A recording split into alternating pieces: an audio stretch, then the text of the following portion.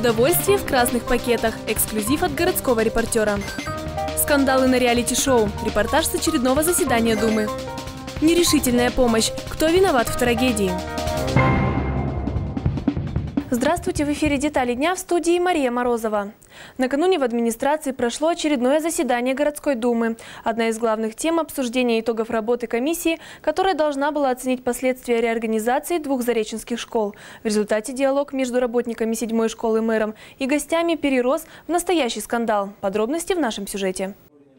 Обсуждение вопроса о слиянии седьмой и третьей школ на прошедшем заседании Думы оказалось самым длительным и эмоциональным. В центре дискуссии работники седьмой школы и глава города Василий Ланских. Полемике активно присоединился и бывший депутат Валерий Бубнов. Последний убежден, во всех своих бедах, а именно в проблемах с лицензией и в неэффективном расходовании бюджетных средств, седьмая школа виновата сама. У вас нету самое главное, у вас нет коллектива, ваша беда в этом, только в коллективе. Бывший директор Константин Шушаричев не промолчал и в ответ на сделанное в адрес коллектива школы замечание отправил Валерия Бубнова, цитата, «бить головой кирпичи». Василий Ланских, в свою очередь, попросил бывшего депутата покинуть зал, пригрозив вызвать полицию. Господин Бубнов, покиньте, Значит, я объясню еще раз.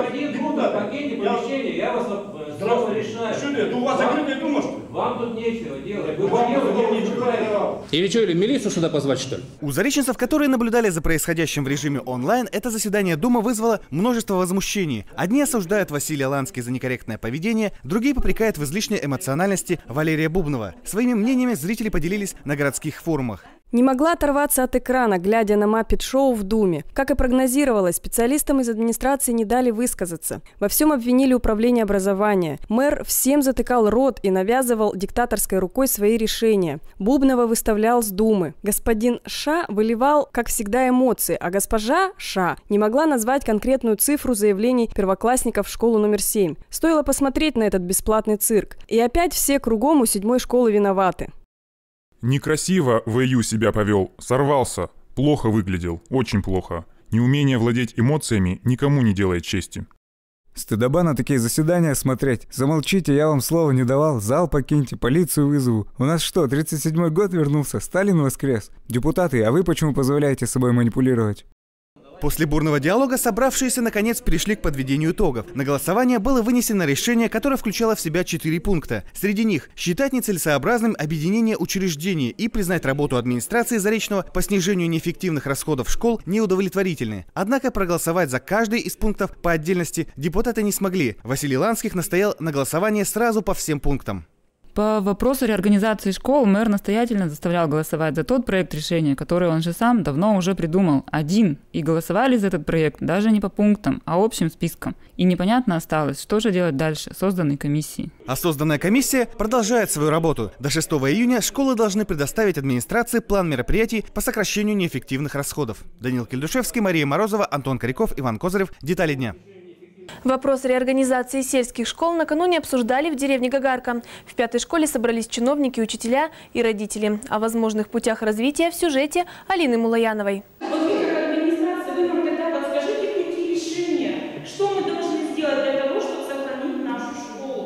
Эта школа жительницы Гагарки Алене Артемьевой особенно дорога. Здесь учился ее отец, потом она сама, а сейчас младшая дочь. Алена Васильевна переживает. В случае реорганизации ее ребенку придется пережить сложный адаптационный период. Другая причина протеста – транспорт. До Мизенской школы очень сложно добираться. Это очень сложный процесс. Вот у меня сейчас дочь учится в 10 классе Мизенской школы, да, так как здесь нет 10-11 класса. И вы знаете, особенно трудности-то у нас возникают зимой, когда не может Мизенская школа предоставить нам транспорт, и дети вынуждены добираться на маршрутках. Проблему с транспортом администрация Заречного обещает решить сразу же после объединения школ. Гораздо сложнее решить вопрос об аккредитации. Ее учебное заведение может не пройти из-за малого количества учащихся. В сентябре в Гагарскую школу пойдет 61 ребенок. Это в 4 раза меньше положенного норматива. По проекту здание рассчитано на 280 мест. У учредителя есть серьезные опасения, что школа эту аккредитацию не пройдет. Соответственно, дети не смогут получить аттестат установленного образца в 2013 году. Путина послушал он новости его, Путина. Он даже, даже один ученик на себе учится. Школа должна быть работать. А почему у нас 60 человек и должна школа закрыться? Не должна школа закрыть. Да закройте вы ее! Вы так не относитесь, закройте! Нам коллектив учителя нравится, школа нам нравится. Том, что в школе учится мало детей, житель Гагарки Максим Худяков видит один существенный плюс – сплоченный коллектив. После реорганизации эту особенность школа может потерять. Сразу последует сокращение учителей, да и детям придется вливаться в новый коллектив. К тому же учреждения могут и вовсе закрыть, опасается Максим Викторович. Финансирование уже много лет обходит школу стороной. Эту школу давно уже, в принципе, толком не финансировали, на мой взгляд. Вот сколько уже ребенок ходит здесь мне в школу, я кроме косметических ремонтов, не видел. Ни обновления материально-технической базы, ни каких-то развитий компьютерных технологий. По итогам встречи стороны пошли на компромисс. Гагарская школа в полном составе 1 сентября вновь откроет свои двери ученикам. Но еще предстоит пройти аккредитацию до 1 ноября. Подробное обсуждение этих вопросов перенесли на 27 июля. Алина Мулянова, Антон Коряков, Иван Козырев. Детали дня. Кто виноват в трагедии? В начале недели на Таховской 6 произошел несчастный случай. Нетрезвый мужчина, совершая опасный спуск по балконам многоэтажки, не удержался и сорвался вниз. На место происшествия выехали сотрудники МЧС. Однако спасти повисшего на карнизе балкона смельчака им не удалось. Очевидцы уверяют, спасатели сработали неоперативно. Подробности в нашем сюжете.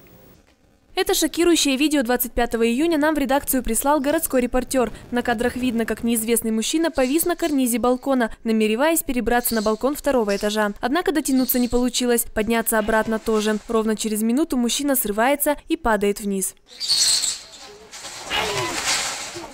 Очевидцы происшествия рассказывают, перед падением мужчина слез по пожарной лестнице с шестого этажа на третий, разбил окно лоджии и забрался внутрь. Приняв его за вора, жители дома вызвали полицию. Следом приехали и сотрудники МЧС. Он в квартиру забежал, там милиция его не может выгнать, из квартиры-то выгнать никак. И он начал, говорит, я вам сейчас всем покажу. Схватился вот так вот, да, схватился вот так вот за перила вот эти вот.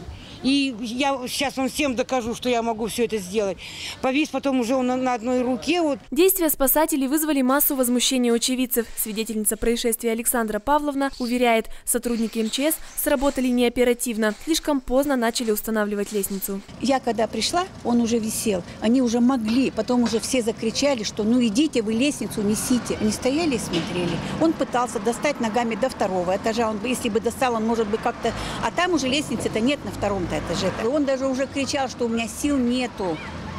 Нет у меня сил. Он когда висел на одной руке, они тогда только пошли за, этой, за лестницей. Александра Павловна рассказывает, на то, чтобы сбегать за лестницей и установить ее, сотрудники МЧС потратили слишком много времени. Машина остановилась вдалеке от подъезда. В 99-й пожарной части нам пояснили, прежде чем устанавливать лестницу, им нужно было получить разрешение у сотрудников полиции, которые руководили операцией. Видел этот момент, когда он повис уже, и пошел до сотрудника полиции спросить, что делать дальше, какие дальнейшие указания. В таких случаях мы руководствуемся указаниями сотрудников полиции. То есть я думал, просто беспрепятственно спуститься на второй этаж и все. Пока мы сбегали за угол дома, взяли трехколенную лестницу, пока прибежали, начали устанавливать. Еще, может быть, секунд 10-15, и мы бы успели бы. Однако в полиции утверждают обратное. Это служба спасения, они знают, свои действия. Не надо им ничего напоминать или руководить ими там. Другая совершенно структура. Просто не успели вот именно, ну, как говорится, развернуть технику, лестницу вытащить. Поэтому и произошло этот несчастный случай. Не знаю, по какому, может быть, недостаточной тренировки, реагирования, может быть, действительно а, объективные обстоятельства способствовали вот этому процессу медленному.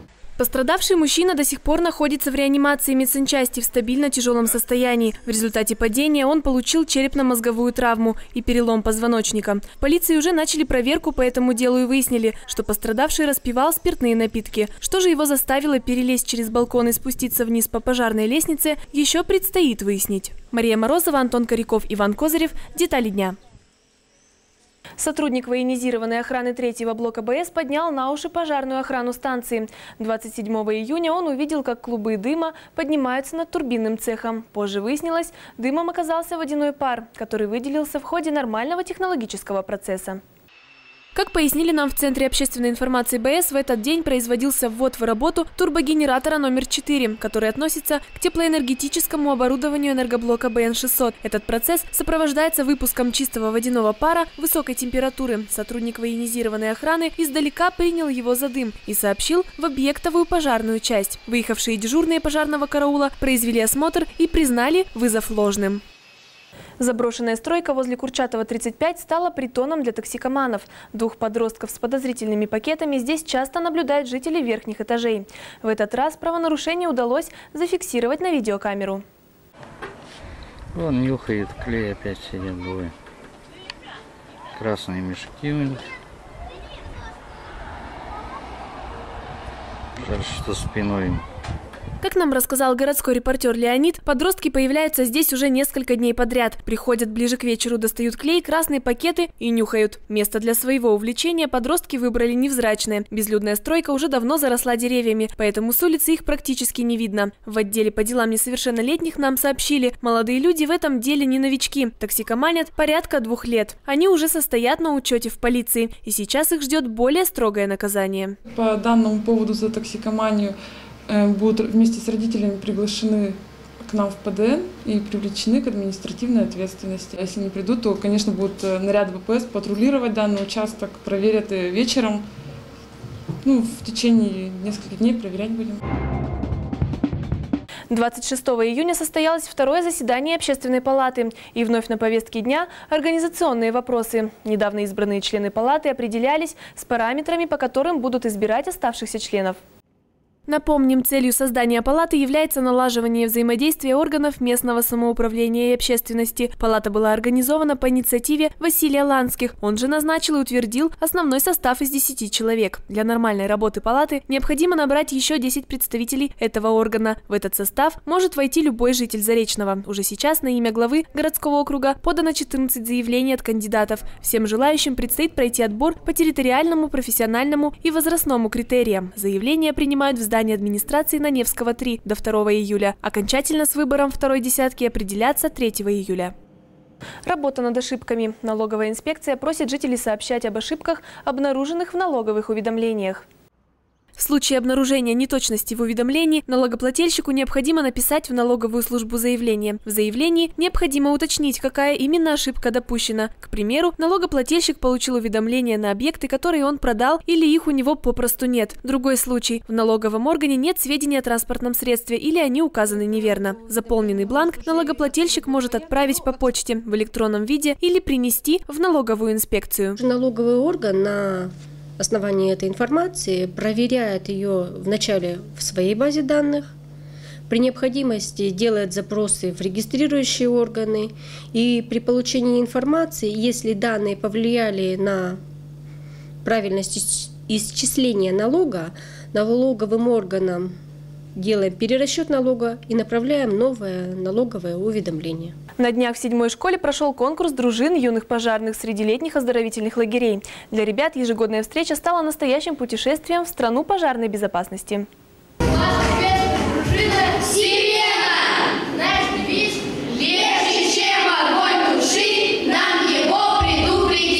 Конкурс ДЮБ уже 15 по счету, и каждый год организаторы придумывают новые формы его проведения. В этот раз участвовали ребята из пяти детских лагерей. Они представили на суд жюри свой девиз «Домашнее задание и фотоработы». Все команды подошли к выполнению заданий творчески, рассказывали стихи, пели песни. Был даже номер с хула-хупами. Лучше всех, по мнению жюри, с заданиями справился лагерь «Ручеек». Никогда не поздно и нужно и необходимо вспомнить правила пожарной безопасности. Особенно именно такой период, как летний, пожар опасны.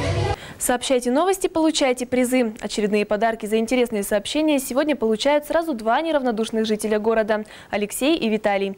Они поделились с нами эксклюзивным видео. Алексей заснял на камеру своего мобильного телефона пожар. Жилой дом горел в поселке Белоярском в ночь на 13 июня. А телезритель Виталий провел собственное расследование и выяснил, кто выбрасывает мусор в лесопарковой зоне. Оказалось, куча отходов принадлежит владельцу одного из продуктовых павильонов. Благодаря стараниям городского репортера предпринимателя удастся привлечь к ответственности. Активные телезрители получают подарки от магазина Device. Получить приз за лучшую новость может каждый. Звоните и рассказывайте о том, что вас волнует или радует. Наши контактные данные данные вы видите на экране. И это все, о чем мы хотели рассказать вам сегодня. Прямо сейчас смотрите прогноз погоды на выходные.